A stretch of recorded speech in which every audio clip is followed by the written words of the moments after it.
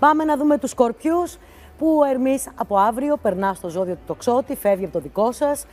ε, μπαίνει στον τομέα που έχει να κάνει με τα οικονομικά σας περισσότερο. Άρα μέχρι τις αρχές Ιανουαρίου είναι μια περίοδος που μπαίνετε σε μια διαδικασία να ψαχτείτε περισσότερο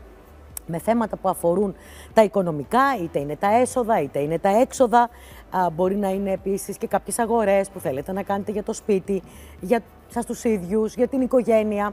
Ε, μπορεί να είναι ακόμη κάποιες οικονομικές συμφωνίες και μάλιστα θα έλεγα, θα σας πρότεινα, αν υπάρχει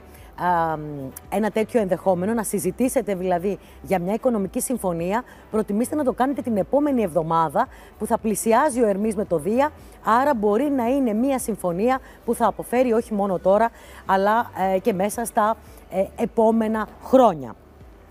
Ε, βέβαια, το ότι ε, περνούν οι πλανήτες στο τοξότη, από την άλλη πλευρά έχει και ένα άλλο καλό για εσάς τους σκορπιούς, ότι με κάποιο τρόπο είναι σαν να ενδυναμώνουν την αυτοπεποίθησή σας. Σαν να νιώθετε λοιπόν ότι και πατάτε καλύτερα, αλλά και αυτό που εκπέμπετε προς τους άλλους, σε όλα τα επίπεδα, σαφώς είναι βελτιωμένο σε σχέση με το προηγούμενο διάστημα.